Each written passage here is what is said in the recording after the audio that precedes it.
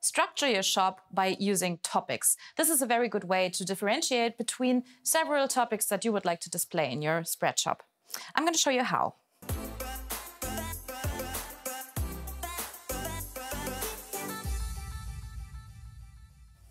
So you're in your partner area. You go to the shop settings, page settings, and here you can find topics.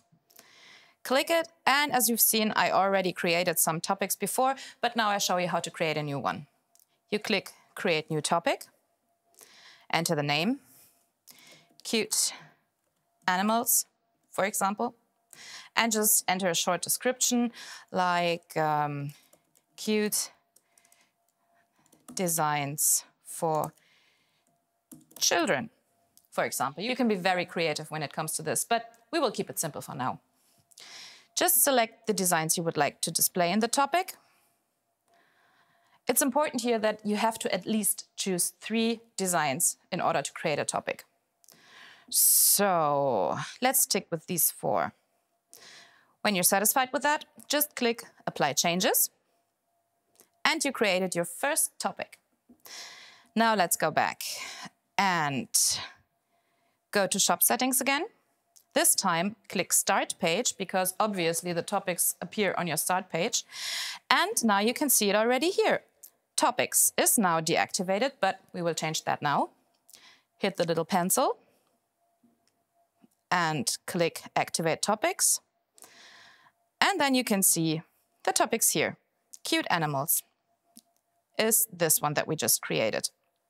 So if you like, you can also change the headline. For example, this is in German now, but we can, of course, change this to topics, for example.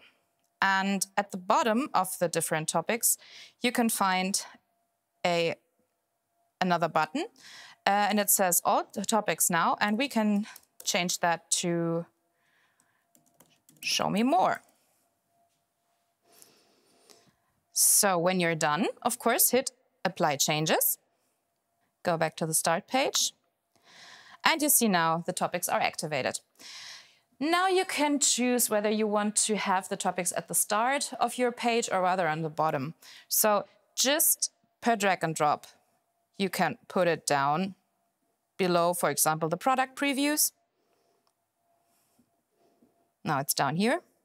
Or if you say you want them right at the top, of course, you drag and drop and put it back on the top.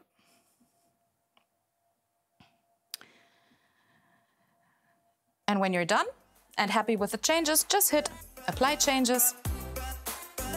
And that's it. Now you created your own topics and gave your shop a little more structure.